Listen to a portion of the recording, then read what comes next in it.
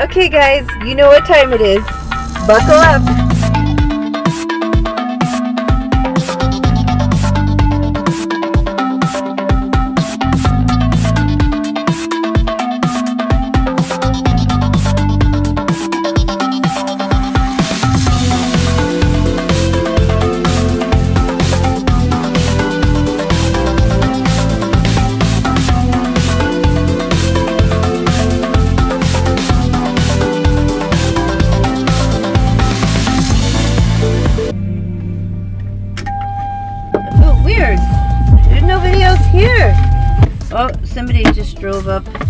It only smells a little bit like gasoline in here, but you guys, this is the important part. Let me show you. Let me show you. Uh-huh. Okay, don't just don't look at the odometer. Yes, I know. I'm almost hitting 100,000 miles. This is an old car.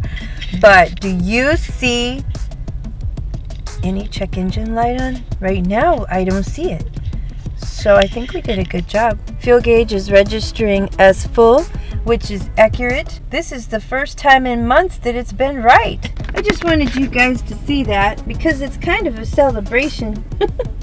Anytime you can do the work yourself and get her done, that's always a good feeling. We probably saved ourselves hundreds of dollars, maybe even at least a thousand dollars. I don't know, but now we know how to replace the fuel cylinders in the car I just don't want to do it again anytime soon. I'm catching colds again, so I'm expecting my nose to start running any second now. Anyway, thank you for those of you who commented on the last video where I asked you, what do you do for Valentine's Day? I don't know what happened. Years ago, we used to celebrate Valentine's Day. We would exchange cards, and I would make my card. And I spent a lot of time on it. We're kind of crafty people, so that was sort of a fun thing to do. I kind of miss doing that. I don't know what changed, but over the years, years, maybe a certain level of cynicism set in, and then we just kind of stopped celebrating Valentine's Day. And I tell you, if it weren't for the children, we probably wouldn't celebrate Christmas or Easter or any holiday apart from 4th of July. Who doesn't want to celebrate 4th of July? I mean, fireworks.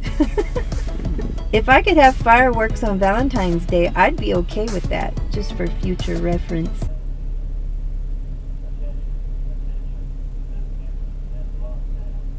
Oh, the school is locked down. I think they're doing a lockdown drill at school. They're saying the campus is locked down. There's a police car in front of the school, but it's not. I think it's just a drill, guys. Don't worry. But anyway, back to the important issues at hand, like gift giving and whatnot.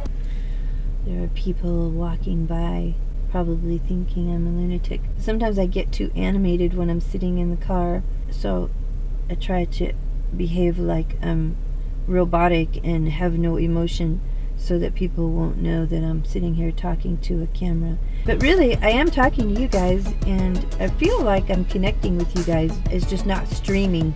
Maybe we need to do a stream one day. That might be fun. this afternoon, I need to make yet another trip to the store. It seems like I'm always forgetting something. And I always drive all the way to that store that we go to that you see in the videos instead of the one that's closer because I used to work at the one that's closer. Things didn't end well. But that's another story. Okay.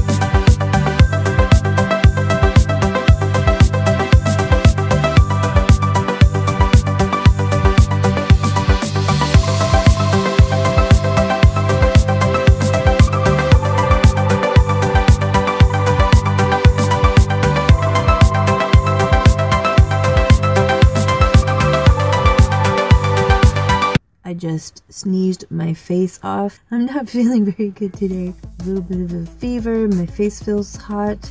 I shouldn't stay up editing all night, but I probably will anyway.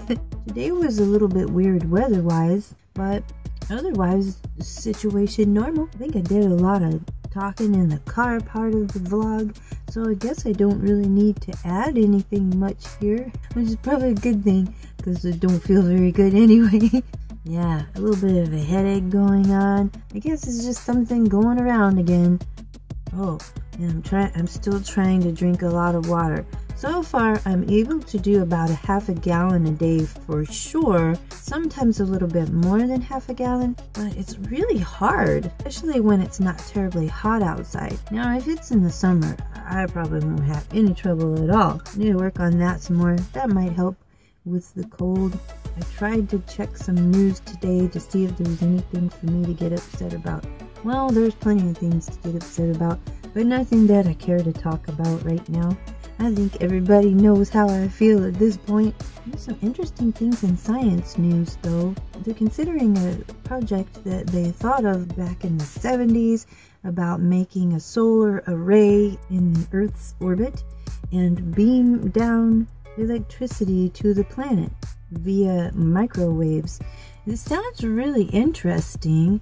I think though my first my initial thought before reading the entire article was that it sounds awful, like something that could be weaponized. But in the article, they assure everyone that it will not be weaponized and that they could potentially bring electricity to areas that are damaged by weather or to remote villages that wouldn't otherwise have electricity.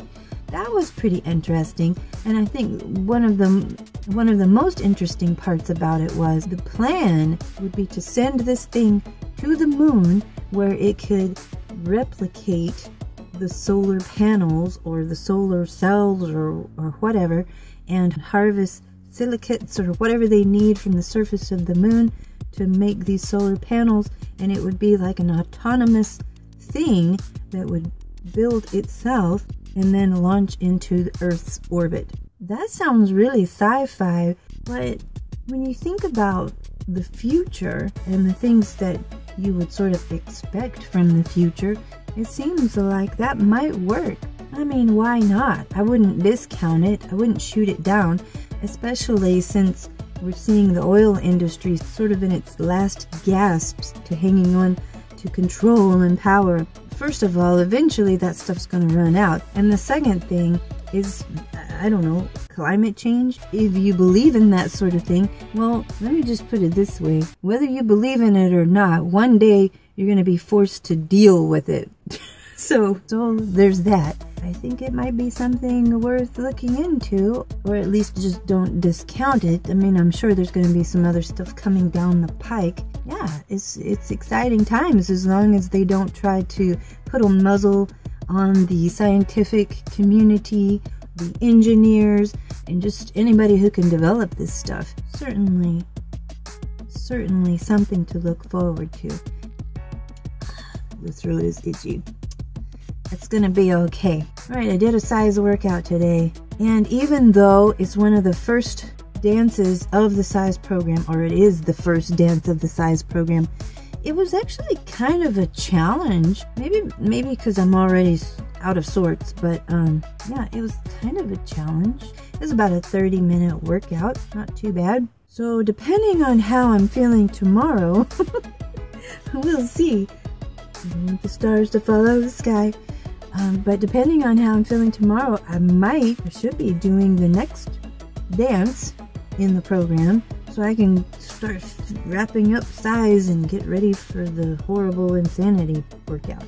No, it's not horrible. It's good. It's a wonderful workout. I tell you, insanity is intimidating and it is difficult, but I remember the warm up is tough. It took me a long time to work my way up to completing the warm up without stopping. Yeah, I think I might have made it a month through Insanity before, but it's a two month program. After I got used to it, I remember feeling pretty good and it, it gets easier. It's still one of the toughest programs that I've ever done. I don't know. I think I'm up for the challenge. We'll see. If I survive it, you'll know, because I'm going to document it anyway. Okay, I need to I need to get off here. It's about 9 o'clock. I haven't even started editing yet.